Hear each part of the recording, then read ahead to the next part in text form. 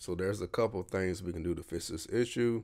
And by the way, if you never heard this out, check the link below. It's for ad-free YouTube on TV devices. But once you start a video, go to this HQ option at the bottom for the quality settings.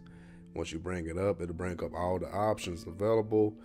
So we just have to lower the quality based on your internet connection. So if you're not having this issue, most likely it's because your internet is awesome. But if your internet is kind of on a slower speed or if it's just slow for that day for some reason, we have to drop the quality.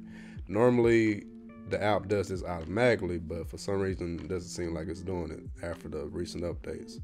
You can also go to the settings and then go to your video player option and then go to video preset to change it like all together so you don't have to do this on every single video. So once you change it in the settings of the app, that'll apply to all the videos until you change it back. I'm gonna show you one more thing, but just to be clear, the higher the quality, the video quality, the more internet connection we need. But if you drop it down and it's still not working, that means you just to drop it down some more. But within the video player option in the settings, if you drop down to the bottom, I found this option here. It says buffering fits, but I'm not sure how well it works or doesn't work.